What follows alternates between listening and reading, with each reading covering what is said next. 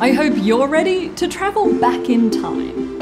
The year is 2003. You're on MSN Messenger, chatting to your friends after class, and suddenly there's some action in your Hotmail inbox. You received a forward with this attachment.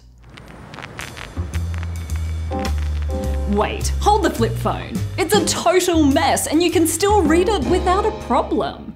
Mind blown. It took this vintage email forward for a lot of us to recognize that the way your brain consumes information and makes sense of language is really cool. This meme, if you will, led to the introduction of the term typoglycemia, the brain's ability to decipher a misspelled word if the first and last letters of the word are correct. Now, you are likely to be familiar with 30,000 or more words, and you can recognize most of them within a fraction of a second, whether they're written like this, this, or this. So, why is that? An early model of why we can read good proposed that we combine letters to recognize them as words, and then we successfully recognize those words as sentences. Though in the 1970s, researchers found that words with one, four, or more letters generally took the same amount of time to read.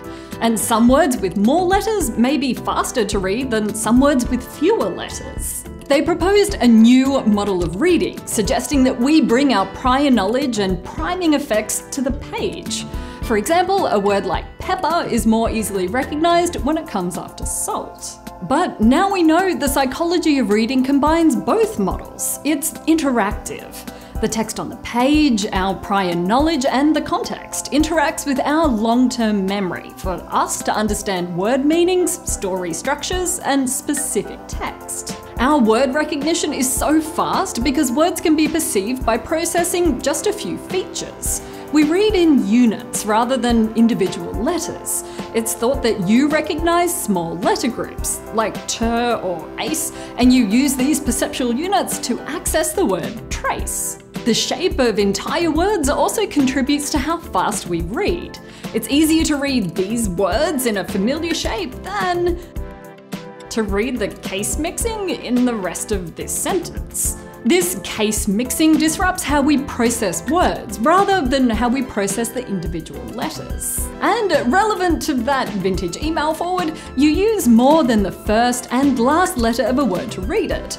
Obviously, we all need to tell the difference between salt and slat. No one wants slats on their dinner. It's thought we can read this sentence easily because function words remain the same, as do units of words like or, ers, and ing. Basically, these words were arranged in a meaningful way, though not all jumbled sentences are. Can you decipher this sentence? What about this one? I jumbled those words completely at random, using an online generator, rather than grouping units of the words in a particular way. But it's likely your brain still unscrambled them in a fraction of a second. Your ability to recognize language and decipher puzzles is really quite phenomenal. So, would you like to buy a t-shirt?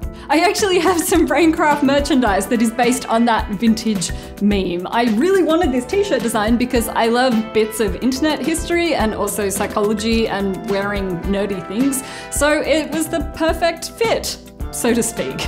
You can order one from DFTBA from their online store. I'll put a link here and down in the description so you can find it. You actually have to pre-order it at the moment. There is a hat that is really, really cool that I'm excited about too. And you can pre-order both of those and just kit yourself out in Braincraft stuff to look and feel cool in everyday life, in your real life. Uh, now I'm just monologuing about my merchandise. Please buy some and thank you for watching.